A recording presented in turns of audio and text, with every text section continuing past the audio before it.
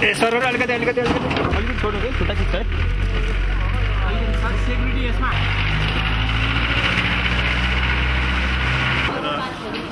आउँदैन आधिकारिक जवाब है तबसम्म उहाँको डेड बडीलाई टिचिङमा राखिन्छ।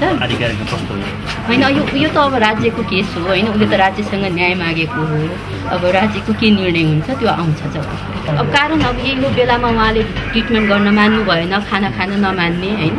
अनि अब त्यही कारणले गर्दाखेरि अब उपचार हजुर होइन त्यस्तो केही पनि देखिएन। किडनीको रिपोर्ट राम्रै थियो। अहिले बिचमा चाहिँ यो पल्स उहाँको माथि माथि सर्दै गएको थियो। अनि त्यहीबाट शङ्का भइसकेको थियो कि उहाँको डेट नजिक छ भनेर